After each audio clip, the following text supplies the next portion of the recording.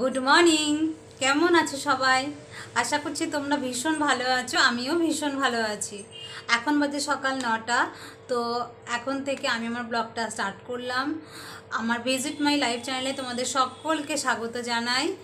এখন আমি বাজারে করে এসেছি, আর রান্না করব এখন। কি রান্না করব? ঠিক করিনি। সকালের ভাত করে নিয়েছি। তো সকালে আজকে টিফিন আমরা ভাত দিয়ে সেরে নেব। তারপরে দুপুরে কি খাব জানি না এখনও ঠিকঠাক করতে হবে কি রান্না করব। তো যাই হোক যেটা বলার যে কালকে আমি বলেছিলাম যে মাথায় আমি তেল মেখে রাখব রাতে। তো তেল রাতে মাখে, মাখতে পারিনি। আমি তেলটা এখন মাখবো। তো তোমরা দেখো আমি কি তেল মাখছি।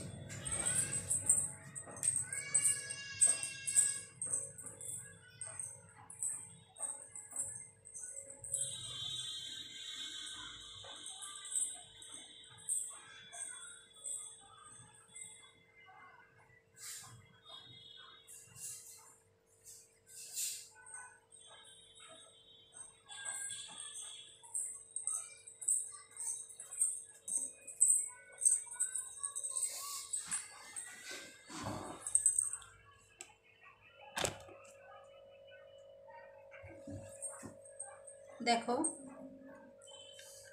আমি দেখাচ্ছি, তেলে আমার কি কি মেশানো আছে। এখানে আছে কালো জিরে আর মেথি, ঠিক আছে? এটা অনেকগুলো মাছ ধরে মেশানো আছে। এই তেলটা যখন এর মধ্যে অনেক রকম কিছুই দেওয়া আছে। ধরো ক্যাস্টর অয়েল আছে অ্যামন্ড অয়েল আছে অলিভ অয়েল আছে, সঙ্গে এই যে কালো জিরে আছে, মেথি আছে, হুম? এগুলো সব মধ্যে দেওয়া আছে। ভিটামিন ই ক্যাপসুলও দেওয়া আছে। দেখো আমি দেখাচ্ছি, দেখো। ভিটামিন ক্যাপসুল কেটে কেটে এর মধ্যে ফেলে রাখা আছে দু তিনটে। তো যাই হোক, এই তেলটা বেশি আমি দেবো না, অল্প করে আমি গোড়ায় একটু ম্যাসাজ করে নেব।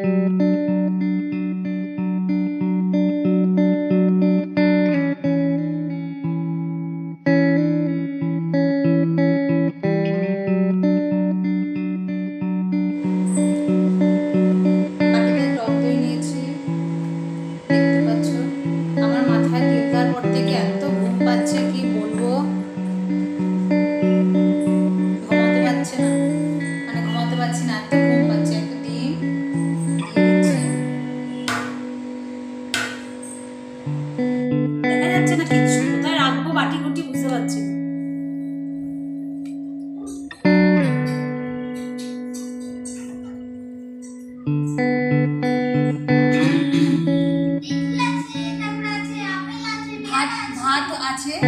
আচ্ছা আমি এদিকে চাল কুমড়োর ঘন্ট করছি। ওটাকে কি বলে, চিংড়ি মাছ দিয়ে। ওটা আছে আর রাত্রিবেলা একটু চিকেন করার ইচ্ছে চিকেন মানে তো মাংস, তুমি জানো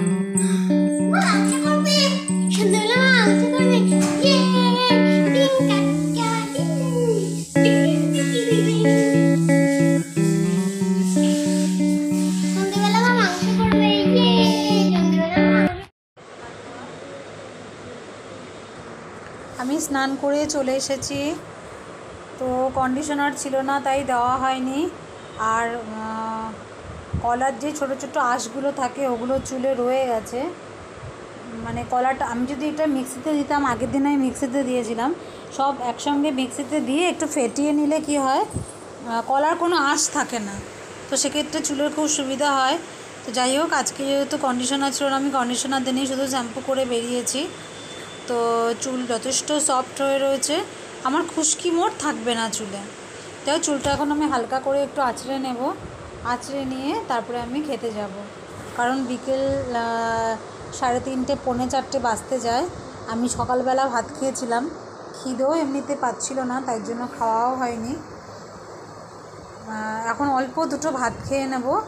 এখন ওই চাল কুমড়োর ঘন্ট দিয়ে অল্প দুটো ভাত খাব, খেয়ে তারপরে একটু বিশ্রাম নেব।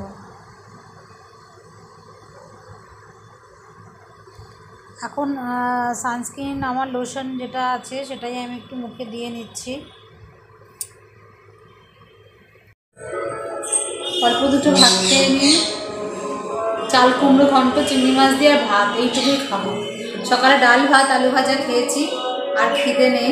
রাত্রিবেলা কিছু করতে হবে।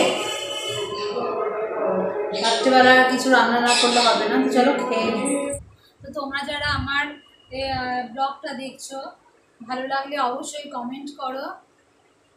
আর আমি যে হেয়ার প্যাকটা লাগালাম,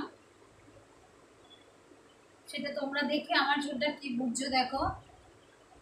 ভীষণ সফট হয়ে আছে আর ভীষণ বাউন্সি হয়েছে দেখো।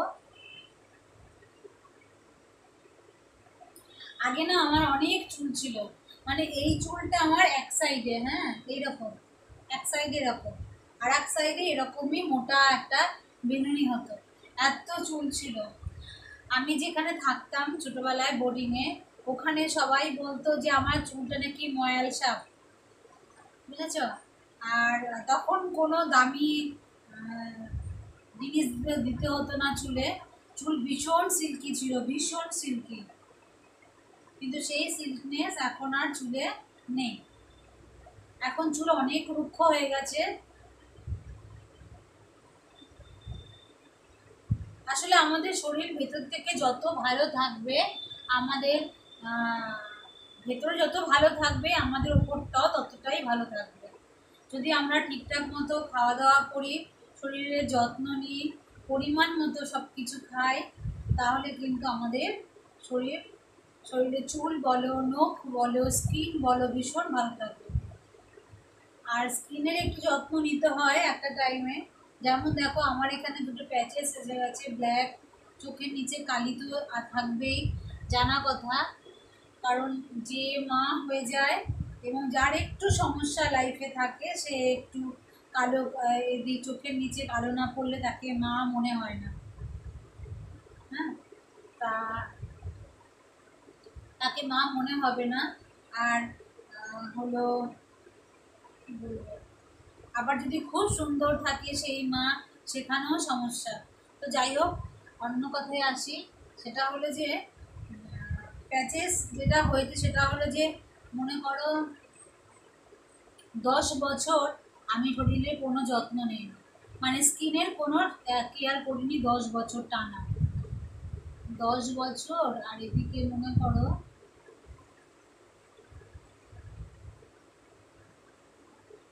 দশ থেকে পনেরো বছর আমি স্কিনের কোনো কেয়ার করিনি, কোনো সানস্ক্রিন মাখতাম না, কিছু ইউজ করতাম না এবং যখন আমি যেখানে চাকরি করতাম সেখানে পুরো এসির মধ্যেও কোনো ক্রিম ইউজ করতাম না।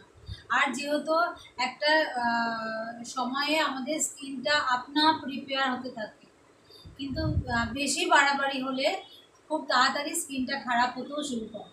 যেহেতু ভীষণ রোদ আমি ছাতা নিতে পারতাম না, আগে ছাতা ভীষণ হারিয়ে ফেলতাম। ওই ভয়ে রাস্তায় ছাতা নিয়ে বেরোতাম না। একদম রোদে পুড়ে তেতে সব কাজ করতাম।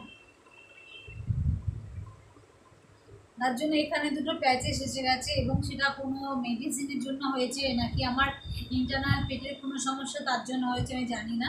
তবে প্যাচেসটা কোনো কিছু করেই সারাতে পারছি না। আমি সরি জানা কি হলো? এগরোল আনতে। সৌম্য এগরোল খাবে। তো সন্ধেবেলা একটা এগরোল আনতে গেছিলাম নিচে। এগরোল আনতে গিয়ে আরও টুকিটাকি টুকটাক জিনিস কিনলাম। তো সৌম্য এখন ব্যস্ত হয়ে পড়েছে, কতক্ষণ এগরোলটা খাবে? তো খাক বসে তখন আমি চা করি। সন্ধ্যেবেলা চা না করলে যেন সন্ধেবেলাটা সন্ধেবেলা মনে হয় না। চা খেলেই সন্ধেবেলাটা মনে হয় যে হ্যাঁ সন্ধে হয়েছে। না হলে যেন মনে হয় যত রাত এগোবে, চা তো খাইনি, সবে সন্ধে চলছে, এইরকম ব্যাপার মনে হয়। তো চাটা জম্পেস করে খেতে হবে। খাওয়ার পরে দেখি কটা। হ্যাঁ আজকে আমি বরণ দেখে নিয়েছি আজকে। তো আর কোনো সিরিয়াল দেখার নেই। এবার চা খেয়ে পড়তে বসার পারলাম সৌম্য আনন্দই হবে, ও এগরোল খাবে। খেয়েও পড়তে বসে যা, আর আমি এগুলো বসে চা খাই। তো একটু সম্পাপিও কিনেছি, আমার খুব খেতে ইচ্ছে করছিল। তো একটু কিনে আনলাম। চলো চাটা ততক্ষণে করে নি ঠিক আছে? চলো খেয়ে এবারে। হ্যাঁ। ও এখন কি খাবে? বুঝতে পারছি না। দাঁড়াও। এদিকটা ধরো এদিকটা দিয়ে খাও। হুম। এদিকটা ধরো দাও। ওইটা দাও কাগজটা দাও।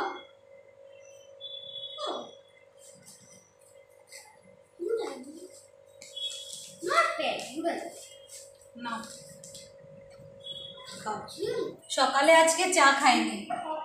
তো সকালটা যেন আবার এখন চাটা দিয়ে দিলাম দেওয়ার পরে আমার মনে পড়ে গেল সকালে কিন্তু আমি চা খাইনি। কি শান্তি। চা না খেতে তাহলে কি আছে? মনে হয় না দিনটা শুরু হয়েছে চা না খেয়ে। ওই জন্য বালিশের মাথা দিয়ে ঘুমাচ্ছিলাম না রান্না না করে? তাই না? ঘুম পাচ্ছিল চা না খেলেই ঘুম পায় তাই না চা না খেয়ে আমি ঘুমাচ্ছিলাম সেই জন্যে।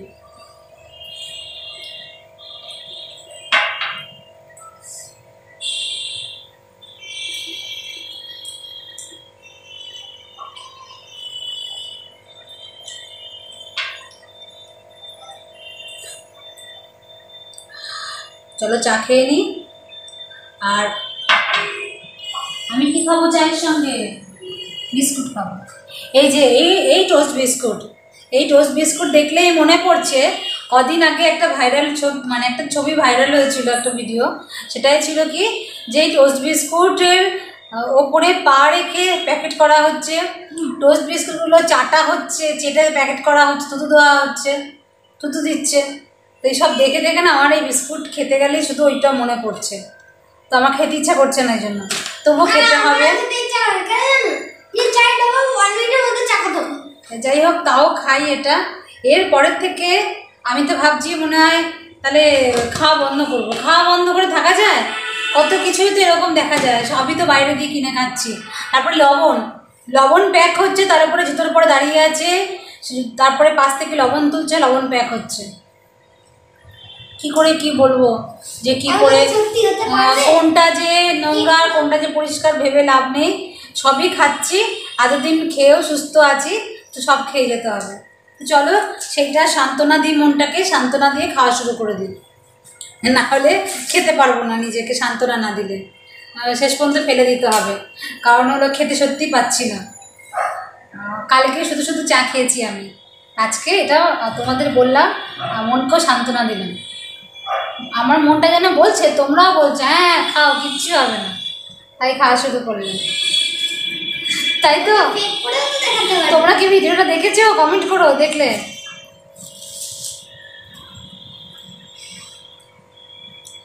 আজকের ব্লগটা এখানেই শেষ করলাম। কালকে আরও একটা নতুন ব্লগে দেখা হবে। গুটি গুটি পায়ে চলা শুরু করেছি।